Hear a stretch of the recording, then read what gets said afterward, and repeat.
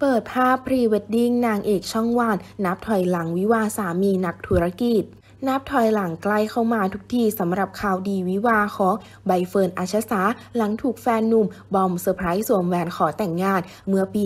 2021 ที่ผ่านมา ล่าสุดว่าที่บ่าวสาว ได้ควงแขนกันไปถ่ายพรีเวดดิ้งสุดหวานโรแมนติก พร้อมแชร์ภาพให้ติดตามกันผ่านอินสตาแกรมใบเฟิร์นพร้อมบอกเล่าโมเมนต์ประทับใจว่าพรีเวดดิ้งกับทาง at bobo studio underscore official กันบ้างค่ะ จริง ๆ เฟิร์นชอบภูเขา แต่ตั้งแต่รู้จักกับพี่บอม เรามีโอกาสได้ไปทะเลกันบ่อยกว่า เลยมีความทรงจำกับทะเลกันอยู่หลายครั้ง และภูเก็ตก็เป็นจังหวัดที่ไปด้วยกันบ่อยๆ ก็เลยอยากจะถ่ายพรีเวดดิ้งที่ภูเก็ตค่ะ ชุดที่ 1 เฟิร์นชอบชุดนี้ที่สุดเลย เป็นชุดเจ้าสาวสั้นกระโปรงฟูๆ ชุดนี้น่ารักมาก รู้สึกว่าเข้ากับเฟิร์นมากเลยค่ะ ชุดที่ 2 เราถ่ายกันตอนเที่ยงแดดจัดมากค่ะ แต่รูปออกมาสวยเลย ทั้ง 2 เซตแรกสถานที่ at 4,000วา ชุดที่ 3 เซตนี้วางหน้าผมให้ดูเกาหลีเกาหลีเฉี่ยวๆนิดนึง ชอบสถานที่มากๆๆๆ at Day and Night ภูเก็ตนอกจากสถานที่ที่สวยแล้วเครื่องดื่มอร่อยด้วยค่ะ ใครชอบ dirty ร้านนี้เด็ดมาก ชุดที่ 4ถ่ายทะเลตอนพระอาทิตย์ตกดิน